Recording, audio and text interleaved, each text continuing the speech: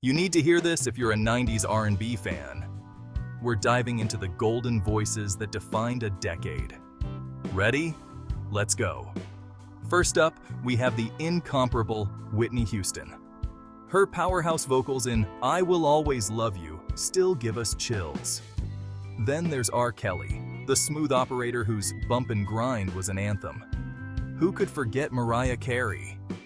With her five-octave range, she took us to new heights with hits like Fantasy.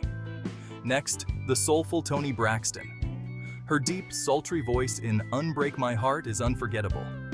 And lastly, Boyz II Men, the harmony kings who made every song an emotional journey. Their track End of the Road still hits home. These artists didn't just sing, they poured their hearts into every note. And that's why 90s R&B is timeless. Stay tuned for more musical journeys. Be sure to like this video and subscribe to the R&B Lounge.